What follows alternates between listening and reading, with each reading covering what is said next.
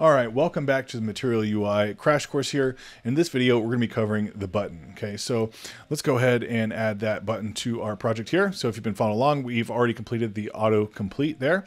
So next, let's go ahead and create a new component inside here. We'll say button example.jsx, and we'll just say RAFCE to generate our functional component here. Now, uh, let's go into our app.jsx here, and we'll just say here, we'll say button example so we can see our component here. Let's go ahead and save. And if we have our server started up, you should see the button example there. Okay, so inside this component here, um, go ahead over here and go to the menu. If you're not, if you can't find the buttons, go to the menu under components, then input. We're just gonna be right here on this button here. So if you scroll down here, we have lots of um, buttons here, like right out the gate that you can style here. So we have this one. Let's go ahead and just copy these over. So we'll copy that. We'll just paste that in there like so. Let's go ahead and save.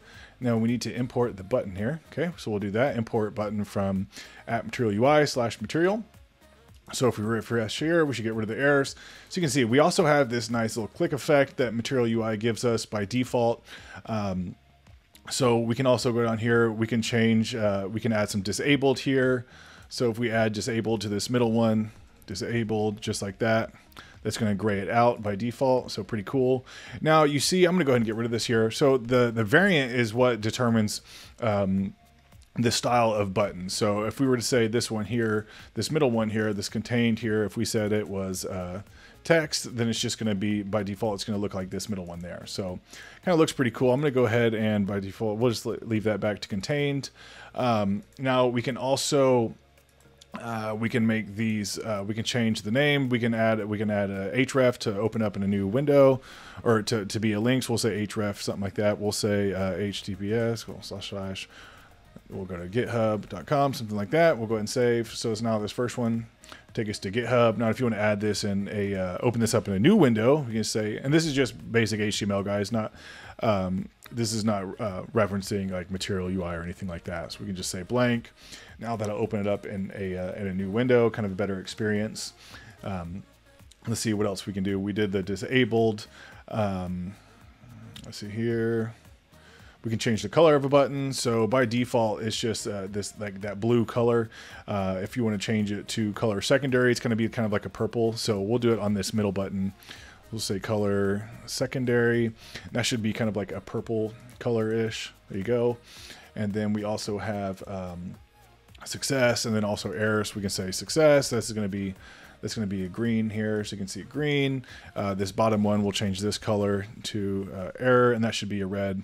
And you can change these dynamically as well. You can kind of pass in based on um, some type of input or output that you receive. So that's kind of cool there, and it changes everything. So let's see what else we have here. Um, we also have, yeah, we can change the sizing here. So um, this middle one here, I'll say size. By default, it, it, sits at medium. So that's what you see right here is medium. Right now, we just changed it to small. So if you want to change this, we can also go up to large. Uh, it brings it up a little bit as well. So, oops, I'm refresh there.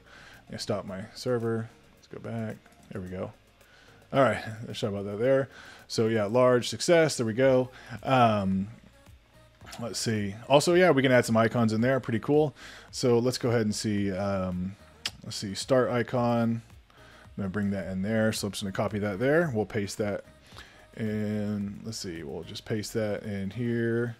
Um, actually, let's just see. We'll say start icon just like that. Now we're gonna need to import this icon here. So let's find our import. This is gonna be delete icon. Yeah, delete icon. And then we also need to actually install material icon. So let's go ahead and install this right here. So we'll stop our server here. Oh, I need to say npmi. We'll paste that in there. npmi. There we go. And after this is done installing, we'll just start our server back up. npm run dev. Should we should now actually be see our icon in there? Kind of cool. Look at that. Nice, nice. Now, if you want to change this uh, start icon to um, end icon, for example, this will move the icon to the end of the button there. So if we go ahead and save, you see it kind of shifts everything and um, the icon's now at the end of the button. So let's see what else we have here. We have just buttons there. Uh, we can change the sizing of the buttons. A little fingerprint, that's kind of cool. Let's see if we can get that in there. So I'm going to copy that in and let's just change it to, um, let's see if we can change that in here. We'll say, mm, we'll say, let's say start icon. Oops, we'll import that one first. There we go. Start icon, and that's going to be fingerprint. Fingerprint. There we go. Let's go and save. Let's see how that looks. Oops, we need to. There we go. So let's see how that looks. Kind of have a little fingerprint in there. Kind of cool. Danger. That looks cool. So let's see what else we have. You can add these over images. I'm not going to do that in this tutorial, but it's kind of cool. Kind of right out the box functionality.